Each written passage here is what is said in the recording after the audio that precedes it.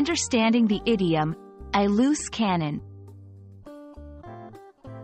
Hello everyone, in today's video, we're going to explore a fascinating English idiom, a loose cannon. This phrase is often used in everyday English, and understanding its meaning can really enhance your language skills. So, let's dive in and unravel the mystery behind this interesting expression.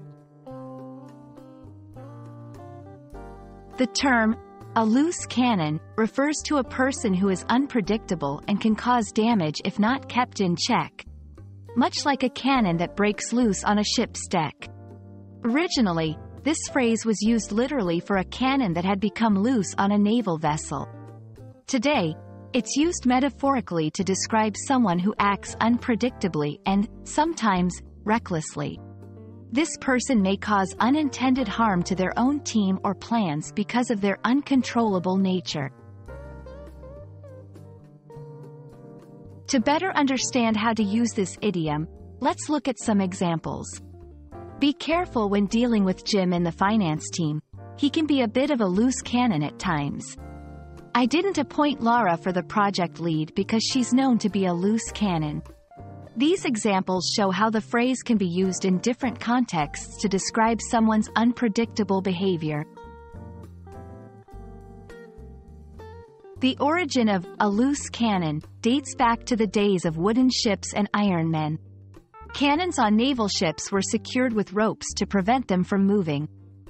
However, if these ropes broke, the cannon would become loose and roll dangerously on the deck. This situation was hazardous as it could cause significant damage to the ship and injury to its crew. This historical context gives us a vivid image of the potential chaos a loose cannon can cause, leading to its metaphorical use in modern language. Understanding synonyms can help you diversify your language use. Some synonyms for a loose cannon include unpredictable, uncontrollable, wild card, maverick. Each of these can be used in different contexts but carries a similar connotation of unpredictability and potential for causing unintended consequences.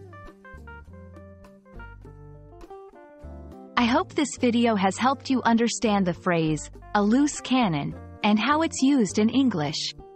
It's a great example of how colorful and vivid the English language can be. Remember, learning idioms not only helps in understanding the language better but also in connecting with its cultural aspects. Happy learning, and see you in our next video.